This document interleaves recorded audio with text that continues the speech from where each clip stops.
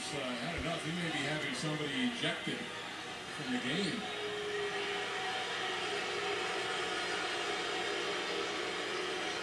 He's making eye contact with the fan. it's, Tom It and, and, and Chris Corchiani who was right. And they're being asked to leave.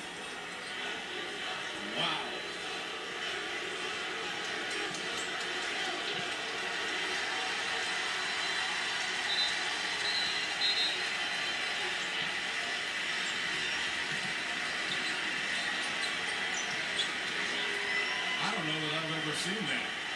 I mean, I've seen people get ejected from the game, but not two guys of that stature from the history of the program, of a program.